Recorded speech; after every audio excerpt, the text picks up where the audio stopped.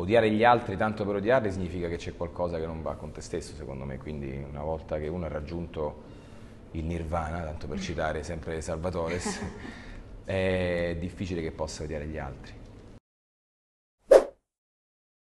È mio figlio, non so nemmeno che faccia. Ma dopo 16 anni ti preoccupi del ragazzo. Ma tu perché sei scappato? Io ho deciso di portarmelo dietro.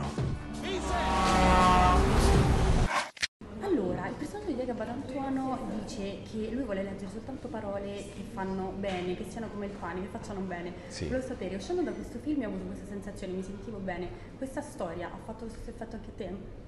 Beh, assolutamente, è una, è una storia che, che- che ristora il cuore, perché è una scoperta dei sentimenti, una storia padre-figlio in cui il padre scopre che può essere un padre, un bravo padre, e, e che non c'è che non c'è bisogno di avere paura nel- nell'aprire il proprio cuore e farsi toccare nei sentimenti. E questo, e- e questo figlio, che ha una forma di autismo, scopre appunto attraverso questo padre, impara a donare al mondo e agli altri tutto il suo folle amore. Eh, quindi assolutamente è un film, eh, è un film che, che ristora, che fa bene al cuore. Viene detto anche che la felicità non è un diritto, ma è una botta di culo. sì. Volevo sapere se sei d'accordo. Eh, è vero, è una botta di culo che però secondo me bisogna anche sapersi guadagnare.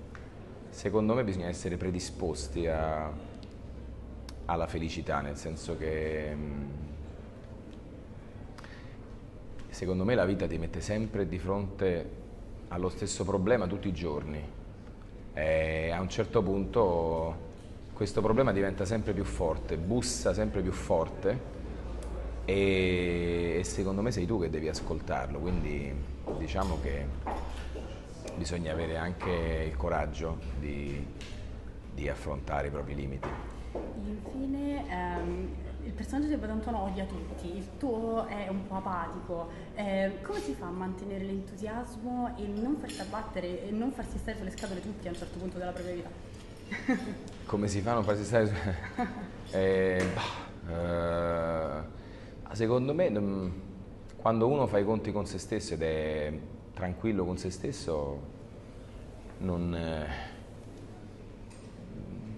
non- non- non può odiare gli altri, nel senso può odiare degli atteggiamenti degli altri come la stupidità, l'ignoranza, l'invadenza, ma odiare gli altri tanto per odiarli significa che c'è qualcosa che non va con te stesso, secondo me, quindi una volta che uno ha raggiunto il nirvana, tanto per citare sempre Salvatore, è difficile che possa odiare gli altri. Questo film, appunto, è- in cui questo mio personaggio, avendo chiuso i propri sentimenti, il proprio cuore, 16 anni fa, abbandonando questa donna incinta e non avendo mai visto suo figlio, chiaramente eh, cosa fa? Ferisce inconsapevolmente gli altri perché, come dire, va di fiore in fiore, quindi va in giro, canta modugno, e le donne lo, lo- lo guardano con desiderio e lui si concede per una notte, per, per brevi momenti e dopodiché fugge ancora e scappa perché, perché non vuole che il suo cuore metta radici, non vuole aprire il suo cuore ai sentimenti, quindi eh, questo è un- potrebbe essere un motivo per cui lui fugge e scappa dagli altri, che non, non vuole avere rapporti con gli altri, quindi fino a che non apre quel suo cuore eh, ferito, eh, non, non odierà gli altri, avrà un rapporto apatico appunto con la vita. Grazie mille. Grazie a te.